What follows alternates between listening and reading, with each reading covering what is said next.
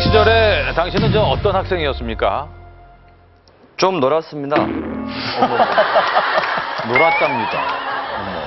본인의 신체 중에서 가장 자신 있는 부위가 있다면 어딘가요? 코입니다. 코. 코. 코. 잘생기셨네요. 어, 너무 흐뭇해한다. 당신의 좌우명은 뭔가요?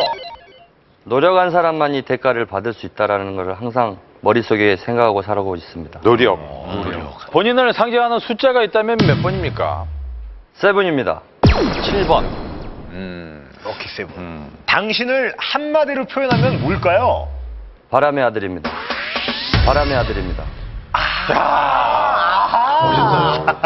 자, 한국 프로야구의 레전드죠. 야구의 신, 야신입니다. 나와주세요.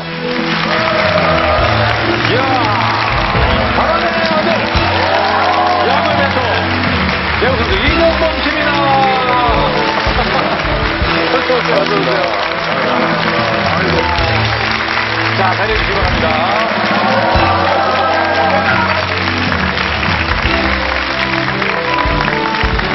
고맙습니다.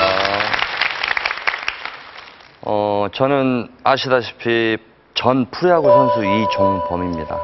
제가 두 달 동안 많은 방송국, 언론, 정말로 숱하게 전화를 많이 받았는데 특히 여러분들이 저 이종범을 어떻게 아는 건지 잘 모르겠지만은 저는 운동을 해가지고 34년 동안 사회성을 길렀고 A도 받았고 또 특히 가장 중요한 거는 어떻게 운동을 해서 살아나가야 되는지를 알기 때문에 지금부터 제가 조금 여러분들이 살아가면서 보탬이 될 수 있는 얘기를 시작하겠습니다. 어, 저는 1979년 3월 달에 강주 서림초등학교 3학년 때 야구를 시작하게 됐습니다. 근데 거기에 들어갔을 때는 저는 꿈이 축구 선수였어요. 축구 선수였는데 들어갔더니 축구는 해체가 되고 야구부가 있었습니다. 그러나 그 야구를 시작하기엔 도대체 동기는 수업이 끝나고 등나무에서 앉아있는 내 모습을 보고 저희 아버님께서 아 얘는 공부보다는 운동이 더 낫겠다. 참 이 자리에서 빚도 진짜 아버님한테 너무 감사드립니다. 그래서 저는 초등학교 3학년 때부터 유니폼을 입게 됐고 야구를 시작하게 됐습니다. 어, 여러분들이 알다시피 1979년도는 정말 먹는 것도 힘들었고 어, 경제적으로 힘들었고 그래서 음, 저희 아버님한테 항상 울면서 아버님 왜 저는 이런 환경에서 태어나게 했어요? 왜 저희 집은 돈이 없어요? 이런 거를 저희 아버님이나 어머님한테 후회도 많이 했어요. 가장 힘들었던 가난. 그때는 제가 야구는 선택이 아니라 나의 인생이 돼버린 거예요. 왜?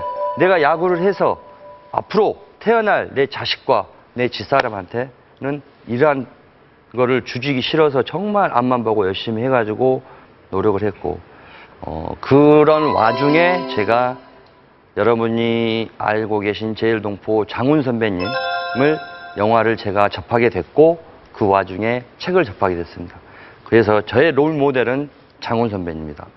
제일 동포라는 이유만으로 일본 사회에서 정말 힘든 야구를 했기 때문에 아 나도 저 선배님처럼 열심히 한다라면은 일본을 갈 수 있겠다라고 생각을 하고 그분을 롤모델을 삼고 열심히 했는데 운동을 하다 보면은 지금 후배인 김선빈이가 제일 적는데 그렇게 적은 선수가 있는 반면에 또 최이서처럼 제일 큰 선수가. 근데 이해하고 이해하고 파괴력은 방망이 치는 파괴력은 어마어마한 차이가 나는 거예요. 그러니까 그 선수들을 이기기 위해서 저는 초등학교 3학년 때부터 스윙을 날마다 300개씩 했습니다. 왜? 이 적은 체구에 가장 내가 해야 될 거는 노력뿐이라는 생각밖에 없었어요. 그 와중에 초등학교 4학년 때 강주 민주화 운동을 생겼는데 밖에서는 총알이 막 나와요. 총알 소리가 나오는데 저희 아버님께서 큰 타이어를 하나를 갖고 우리 동네에다 딱 하나를 묶고 타이어를 쳐라. 그게 손목. 이 손목에 볼 스피드를 지지 않기 위해서 그 방망이를